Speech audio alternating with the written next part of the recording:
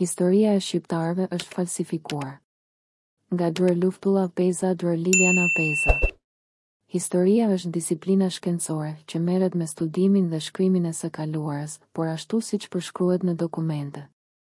Me fjalë të tjera historia e një vendi, populli apo më gjerë, shkruhet mbi bazën e dokumenteve ekzistuese, të cilat pasurohen çdo ditë, sepse zbulohen dokumente të reja.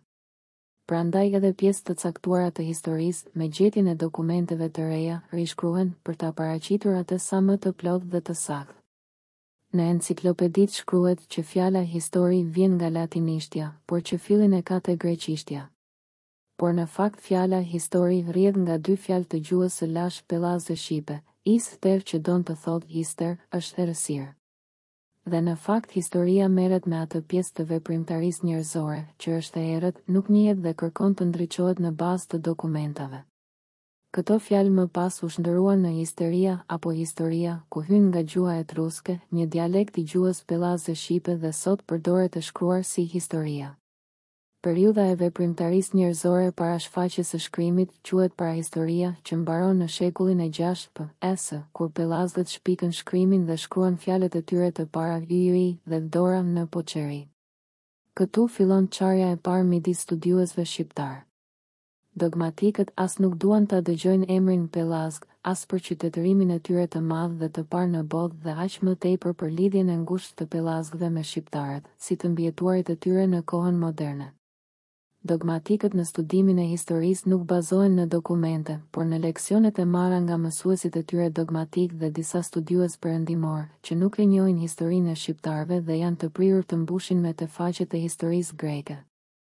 Këtyre nuk u bën përshtypje që shkelin disiplinën shkencore në trajtimin e historisë, sepse nuk marrin parasysh dokumentet siç janë mbishkrimet e lashta, por as literaturën bazë për problemin. Studiuesit realistë çdo gjë e kanë bazuar në dokumente dhe prova të pakundërshtueshme, që përfolen çdo ditë nga dogmatikët, por që nuk janë në gjendje t'i rrëzojnë shkencërisht. Çdo vend ka institucionet e veta, që studiojnë historinë dhe këta e përditësojnë historinë e popullit të tyre çdo kohë, në përputhje me dokumentat, që gjinden. Në Shqipëri puna ndodh ndryshe, dokumentat janë në varësi të shkruesit të historisë, i pranon ose jo, ato mund edhe t'i shtrembërojë qëllimisht. Para disa vitesh, arkeologu i njohur në Sarandë, Halil Shabani në kartelat e objekteve arkeologjike shënonte me të drejtë objekt ilir, por drejtori i kulturës së rrethit, një minoritar grek, i thartuar me helenizmin, i thotë ta ndryshojë shënimin në regjistër në objekt helen, grek.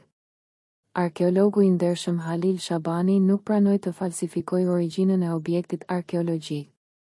Për këtë u pushua nga puna dhe në vend të tij vunë një druvar minoritar grek. Ministria e Kulturës nuk ndërhyri. Kështu falsifikohet historia jonë, në kundërshtim me detyrën që ka shkenca e historisë dhe dokumentet e lashta shih L. Peza, Arkeologjia Shqiptare, dy mijë e nëntëmbëdhjetë. Mbaj mend kur isha në shkollën fillore, në librat tonë të historisë, jo vetëm Skënderbeu, por edhe Filipi i Dytë i Maqedonisë, Aleksandri i Madh, Aristoteli, Pirro i Epirit trajtoheshin si shqiptarë të lashtë, që kishin folur gjuhën shqipe dhe që i jepnin nder emrit shqiptar. Në këtë kohë pellazgët ishin të parët në historinë tonë. por më pas, pas viteve gjashtëdhjetë, shtatëdhjetë dhe sidomos me ngritjen e Akademisë së Shkencave, trajtimi i historisë dhe gjuhës sonë ndryshuan shpejt. U hoqën pellazgët, u hoqën shqiptaro-maqedonët e mëdhenj, librat e vjetër u arshivuan, për të mos u hapur kurrë. A. Buda dhe E. Çabej, dy dogmatikët më të mëdhenj në shkencën shqiptare, pasi zunë kreun e Akademisë, futën në historinë dhe gjuhësinë tonë idetë e leksioneve nga mësuesit e tyre në Austri, që nuk e kanë njohur në themel as gjuhën shqipe dhe as historinë e shqiptarëve. Ilirët nuk e kanë zotëruar shkrimin dhe nuk kanë lënë dokumente të shkruara, prandaj edhe lidhja me shqiptarët është e kondicionuar. Pellazgët, Maqedonët dhe popujt e tjerë të lashtë të Ballkanit nuk kanë asnjë lidhje me shqiptarët, ishin disa nga tezat e tyre. Këto ide të mësuesve austriakë duheshin kontrolluar me studimin konkret të historisë dhe gjuhës sonë. Por dy të mëdhenjtë e Akademisë sonë zgjodhën rrugën më të lehtë, i pranuan ato si të vërteta absolute, megjithëse idetë ishin në kundërshtim me disa studiues të shquar më të hershëm shqiptarë si N. Keta, Qr. Krispi, J. De Rada, Kamarda etj. Ata asnjëherë nuk iu futën punës për studim të plotë të historisë sonë dhe gjuhës ilire, thrake, epirote, maqedone etj, që qytetërimin pellazg e çuan më përpara me qytetërimet e tyre. Studimi i këtyre gjuhëve u krye vetëm vitet e fundit në librin Gjuhët e lashta të Ballkanit dhe Anadollit dhe Familja pellazgjike e gjuhëve, dy mijë e tetëmbëdhjetë të autorëve Peza. Sot historinë dhe gjuhësinë tonë e ka marrë lumi, ajo çdo ditë po rrënohet dhe do të rrafshohet nëse nuk pastrojmë Akademinë e Shkencave dhe Akademinë Albanologjike, dy institucionet, që punojnë me zell kundra historisë dhe gjuhës shqipe. Do të zhduken edhe ilirët edhe epirotët nga historia, sepse institucionet e mësipme me shpejtësi po rendin të fusin në trojet tona periudhën helenistike, që çdo gjë e kanë bërë grekët dhe kështu e gjithë historia jonë do të përpijet nga historia e Greqisë, që më pas edhe Shqipëria e Jugut të bëhet pjesë e saj. Por e vërteta historike, me gjithë manipulimet e mëdha, nuk zhduket dot, sepse për të flasin dokumentet, që nuk janë studiuar nga përpiluesit e historisë së shqiptarëve. Historia e vërtetë e Ballkanit ndahet në këto periudha historike, sipas autorëve Peza, botuar në Dodona, nr. Tre, dy mijë e tetëmbëdhjetë. Një Paleohistoria, Paleoliti, një. Është koha në histori, që fillon me shfaqjen më të hershme të përdorimit të veglave të gurit nga njeriu primitiv, homininët, rreth tre, tre milionë vite më parë, deri në fund të kohës gjeologjike Pleistocen, rreth dymbëdhjetë mijë vjet më parë. Sipas njohurive të sotme shkencore, mendohet se qendra ku ndodhi ndarja e degës gjenetike të njeriut nga majmuni, shimpanzën, nuk është Afrika, por Ballkani.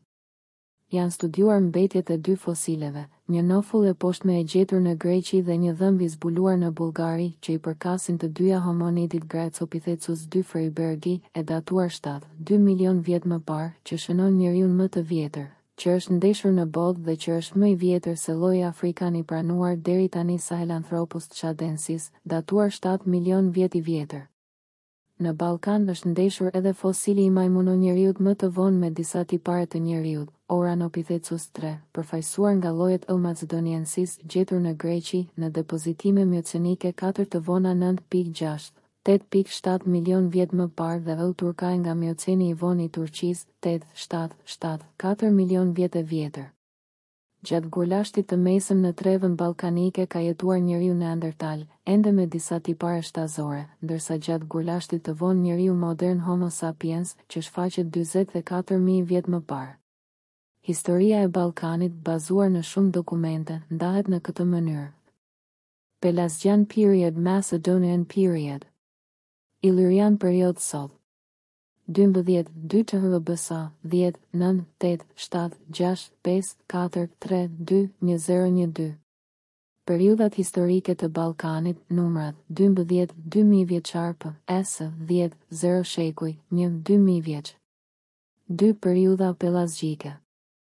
fillon gjatë gurmesmit Holocen dymbëdhjetë MIP, ES, me zbutjen e kushteve atmosferike, fillon jeta e njeriut jashtë shpellave, fillimi i arave dhe farmave, që shfaqet në Ballkanin Qendror. Gjatë kësaj kohe njeriu kishte ngritur besimin fetar tek Zeusi me Zeuastikën Pellazge, shembëlltyra e të cilit ishte shqiponja. Prandaj njerëzit e besimit fetar tek Zeusi shqiponja, u quajtën shqiptarë. Gjatë gurvonit në Ballkanin Qendror shquhet zhvillimi i qytetërimit pellazg, ku shënohen fillimet e bujqësisë europiane. Ndërtohen arat dhe farmat, emërtim nga fjala shqipe fara me shtëpitë e para, fillon përpuninimi i gurit, baltës, poçeria, mbarshtrimi i blegtorisë, përpunimi i qumështit, leshit, lëkurës, endja e copës me vegjën e parë, gërmimi i parë mineral dhe shkrirja e bakrit. Me rëndësi të madhe është shpikja e shkrimit më të lashtë në botë, ku në poçeri shkruhen fjalët, viv yju yji dhe dorë dora, fjalë të gjuhës pellazge shqipe. Njerëzit, që ndërtuan arat e para u quajtën arbanë, që janë albanët e sotëm. Në këtë qytetërim ndërtohet alfabeti i parë në botë. A B B D E F H I J M M N O P Q R T Q U V O Z dhe numrat e parë në histori, një dhe i i i i i katër i i i pesë dhe i i i gjashtë. Njerëzit besonin tek Zeusi zoti që dëshmohet nga simbolet e besimit fetar. Kryqi, që u përdor më pas nga ilirët dhe sot nga kristianët, Zeuastika Pellazge, kryqi i thyer, ylli i quajtur i Davidit, që përdorej nga Skenderbeu etj. Gjatë kohës së bronzit, tre mijë e njëqind e dhjetë PS, ndodhen ndryshime të tjera thelbësore shoqërore, formohen qytet-shtetet, mbretëritë e para, që shpesh njihen si qytetërime të veçanta, ku shquhen, Troja, Esmirna, Mikena, Sparta, Theba, Athina, Tirinsi, Knosi, Dodona, Butrinti, Imara, Oriku, Aulona, Apollonia, Dyrahu, Lisi, Iskodra etj. Gjuha ishte një gjuha pellazge, vërtetuar në Iliasin dhe Odisenë e Homerit dhe në mbishkrimet e Athinës, Korinthit, Thebës etj. Shekulli tetë PS. Kjo gjuhë u trashëgua më pas nga Ilirët, Dardanët, Maqedonët, Thrakët, Epirotët dhe ruhet e gjallë në gjuhën shqipe. Gjatë kësaj kohe fillon tregëtia në largësi dhe për këtë u ngritën mjaft vendbanime, koloni, në brigjet e Mesdheut dhe Detit të Zi, ku shquhen fiset Pellazge Jone, Ajole dhe Dore. Europa Jugore, Ballkani, Anadolli deri në Mesopotami, Egjipt, Afrika e Veriut dhe Mesdheu në lashtësi kanë qenë zotëruar nga Pellazgët, prandaj rajoni quhej me një emër të përbashkët Pellazgjia, Herodoti. që vazhdoi deri në shekullin e shtatë PS, kur filluan të ngrihen mbretëritë e mëdha, Omeri Ilias, Odisea, Herodotus dy, pesëdhjetë e gjashtë, një, Pausania tetë, katër, një, Plini Nathis, katër, katër, Strabo Geograph. Nëntë, pesë, trembëdhjetë, nëntëmbëdhjetë. Kush mohon pellazgët mohon themelet e historisë së shqiptarëve dhe të qytetërimit botërore, mohon popullin më të lashtë të identifikuar në botë, që dha kontributin më të madh në përparimin e njerëzimit. Mohimi i pellazgëve vjen kryesisht nga njohuritë e pakta të historianëve dhe gjuhëtarëve, por edhe nga keqdashja për shqiptarët, sepse janë stërgjyshët e tyre. Tre, Periudha maqedone. Gjatë mijëvjeçarit të fundit PS, nga shoqëria pellazge filloi formimi i popujve të ri, maqedonë, ilirë, thrakë, epirotë, dakë etj. Gjatë shekullit shtatë ngrihet mbretëria e Maqedonisë, gjatë shekullin e katër PS, formohet mbretëria e parë ilire me mbretin Bardhyl. Po gjatë kësaj kohe ngrihen edhe mbretëritë e Dardanisë, Epirit, Dakisë, Thrakës, Pajonisë, që të gjitha të një gjaku dhe gjuhe, sepse ishin me origjinë pellazgjike. Në këtë kohë Europa qendrore dhe veriore ishte në gjendjen e kohës së gurit, me fise të paorganizuara, gale, kelte, gjermanike, fine, estone, sllave etj. Maqedonia nën mbretin Filipi I u bë shteti më i fuqishëm i kohës dhe në vitin treqind e tridhjetë e tetë PS. pushton jugun e Ballkanit Pellazgjik, duke larguar pushtuesit persianë. Aleksandri i Madh më pas e shtriu perandorinë maqedone deri në Indi. Pas vdekjes së Aleksandrit më treqind e njëzet e tre PS, perandoria e tij e madhe u nda midis gjeneralëve të tij dhe Kasandri u bë mbreti i Maqedonisë, që përfshinte të gjithë jugun e Gadishullit Ilirik dhe kufizohej nga Epiri, Iliria dhe Thraka. Në Perandorinë Maqedone morën zhvillim kultura dhe gjuha pellazgo-maqedono-shqiptare, që ka qenë e shkruar dhe ka lenë dokumente shkrimore. Prandaj periudha ka emrin e Maqedonisë. Katër periudha ilire Pas luftërave të ashpra disavjeçare iliro-romake në vitin njëqind e gjashtëdhjetë e tetë PS, Ballkani pushtohet nga romakët, që me organizimin e ri e emërtuan prefektura ilire, sepse ata e dinin mjaft mirë, që i gjithë Ballkani fliste disa dialekte, që kuptoheshin lehtë me dialektin më të madh ilir. Ky emërtim u ruajt gjatë gjithë kohës bizantine, deri në vitin një mijë e katërqind e pesëdhjetë e tre, kur ajo ra. Gjatë shekullit të fundit PS. në Ballkan erdhi fisi grek dhe në gjatë shekujve gjashtë, shtatë erdhën fiset sllave. Në Gadishullin Ilirik dhe Perandorinë Bizantine është folur gjuha ilire, që kuptohej dhe flitej shumë lehtë nga popujt e tjerë dhe të Anadollit dhe më gjerë, sepse të gjitha gjuhët e tyre kishin origjinë të njëjtë pellazgjike. në shoqërinë pellazge dhe më pas në ato ilire, dardane, maqedone, epirote, thrake etj, ka ekzistuar sistemi i besimit pagan, dmtë. Besimi në shumë zota pellazgë, me kryezot Zeusin pellazg dhe dymbëdhjetë perënditë e Olimpit. Në vitin treqind e tetëdhjetë perandori romak Theodosi shpalli kristianizmin si besim fetar shtetëror në të gjithë perandorisë romake dhe filloi ndalimi i besimit pagan, prishja e faltoreve të tyre. Kristianët përshtatën emrin e Zeusit dhe krijuan themeluesin e kristianizmit, Jezus je Zeus Jezus, huazuan kryqin pellazgo-ilir si simbol të fesë së re kristiane, ngritën Vatikanin mbi faltoren e lashtë pellazge, duke përshtatur shprehjen etruske shqipe, u atë i kran tek atë i kran Vatikan, si faltoren kryesore të kristianizmit, nën shembullin e Dodonës pellazge, që e prishën. Kështu hyri ndër shqiptarët kristianizmi. Pesë, Periudha e pushtimit osman Osmanët, turqit, pas rënies së Konstantinopojës, një mijë e katërqind e pesëdhjetë e tre, filluan pushtimin e gadishullit ilirik, me qëllim të pushtimit të Europës. Shqiptarët nën udhëheqjen e Skenderbeut bënë luftëra të gjata kundra pushtimit osman dhe fituan betejat gjatë njëzet e pesë vjetëve, por asnjëherë nuk u ndihmuan nga shtetet perëndimore. Shqiptarët me Skenderbeun në krye kanë meritën e madhe sepse mbrojtën qytetërimin perëndimor nga pushtimi dhe shpartallimi osman. Më pas vjen Lidhja e Prizrenit, lufta për pavarësi, shpallja e pavarësisë më njëzet e tetë nëntor një mijë e nëntëqind e dymbëdhjetë dhe cungimi i territorit nga fuqitë e mëdha më një mijë e nëntëqind e trembëdhjetë. Ngritja e Mbretërisë së Greqisë. Fisi grek erdhi në Ballkan gjatë pushtimit romak, por nuk dihet se nga erdhën, sepse asnjë dokument kulturor nuk kanë lënë në vendin e origjinës dhe asnjë të tillë nuk sollën në rajonin e ri. Ai nuk kishte as emër dhe asnjë nivel kulturor. Prania e tyre nuk është ndjerë në rajon. Kjo vërtetohet nga fakti, sepse ndërsa popujt autoktonë të Ballkanit me origjinë pellazge, ilirët, epirot, dardanët, maqedonët, thrakët, dakët dhe pajonët i ngritën mbretëritë e tyre qysh gjatë shekujve shtatë, katër PS. fisi grek, asnjëherë nuk e arriti këtë.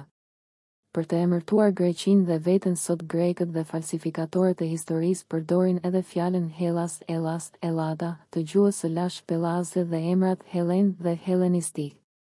Por për këtë asnjë dokument nuk ekziston, që Greqia dhe grekët të kenë ekzistuar dhe të jenë quajtur në lashtësi kështu. Gjatë kohës së bronzit në Thesali ka qenë një qytet i lashtë, që quhej Hellada dhe banorët e tij quheshin Hellenë, që përmenden në Iliasin e Homerit, ku grekët nuk përmenden asnjëherë dhe s'kanë asnjë lidhje me to.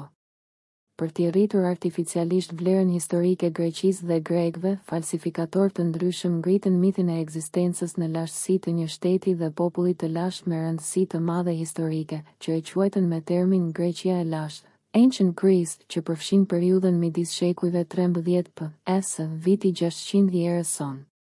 Por në fakt, Greqia e lashtë, asnjëherë nuk ka ekzistuar gjatë historisë. Kjo është falsifikim i historisë. Deri në shekullin e shtatë, katër PS, Europa Jugore quhej Pellazgjia dhe më pas në të u ngritën mbretëritë ilire, maqedone, dake, thrake etj, të gjithë me origjinë pellazge.